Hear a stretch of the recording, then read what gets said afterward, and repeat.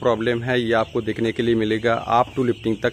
मतलब जैसे जैसे आप एक हफ़्ते के अंदर 200 ग्राम के आसपास अगर बॉडी वेट नहीं कर पाओगे तो उसमें ए, मतलब जैसे 36 डेज़ हो जाएगा तो 200 ग्राम का शॉर्टेज आएगा। तो आपको मैं एक ही सलाह दूँगा कि फास्ट जो सेवन डेज़ होता है उसको थोड़ा सा मेहनत करके अच्छी तरह से मैनेजमेंट करके उसको चिक्स को थोड़ा सा फ़ीड इनटेक करवाइए। और दोस्त आप देख पा रहे हैं कि मैं एक एक जो बड़ा वाला फीडर है एक एक ब्रोडिंग पे आठ ठो करके दे दिया और उसमें ठीक तरह से फ़ीड इंटेक कर पा रहा है।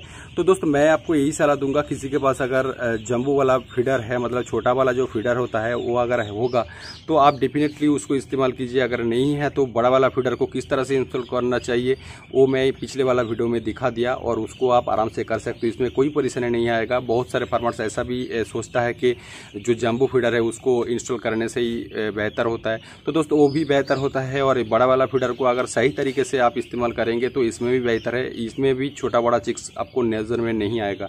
तो दोस्त, इसमें छोटा बड़ा जो चिक्स होता है, इसमें एक ही प्रॉब्लम के कारण से होता है, जो फीडिंग का डिस्टेंस है, जो चोंच लेवल का डिस्टेंस है। अगर मान लीजिए कि छोटा चिक्स, उस पर जो चोंच है, वो ठीक तरह से फ़ीड में लगा नहीं पा रहा है तो वो थोड़ा सा फ़ीड इंटेक कम करेगा, छोटा हो जाएगा। तो आपको मैं यही सलाह दूँगा कि फ़ीड उसको सही तरीके से खिलाइए। और दोस्त, आप देख पा रहे हैं कि इधर में फ़ीड देने का काम चल रहा है। और मैं आपको एक बार दिखा दूँ कि पेपर जो बिछावन किया हुआ था, वो ऑलरेडी मैं उठा लिया और ग्राउंड लेवल पे फ़ीड देना ही मैं बंद कर दिया क्योंकि ग्राउंड लेवल पे फ़ीड देने से एक ही दिक्कत है कि वो गंदा फ़ीड खाने से उसका जो लिवर है डाइजेस्ट है, थोड़ा सा ख़राब हो सकता है क्योंकि जो ग्राउंड पर पड़ा हुआ फ़ीड है, उसी पर वो ड्रॉप करता है, उसी पर वेट करता है। तो फ़ीड का जो क्वालिटी है, थोड़ा सा ख़राब हो जाता है और वो इंटेक करने से उसका जो डाइजेस्ट सिस्टम है, थोड़ा सा ख़राब हो सकता है लूज ड्रॉपिंग हो सकता है। तो मैं ट्राई करता हूँ कि जितना हो सके मैं फ़ीड उसको देने के लिए।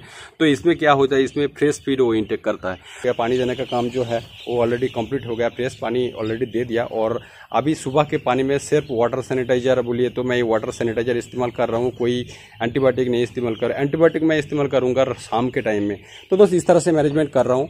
तो दोस्त, इसी के साथ समाप्त करता हूँ ये वाला वीडियो वीडियो अगर अच्छा लगे तो प्लीज़ लाइक कीजिए शेयर कीजिए जाकर हर पोल्ट्री फार्म को मेरा सूचना मिल सके, उसका लाभ हो सके। धन्यवाद।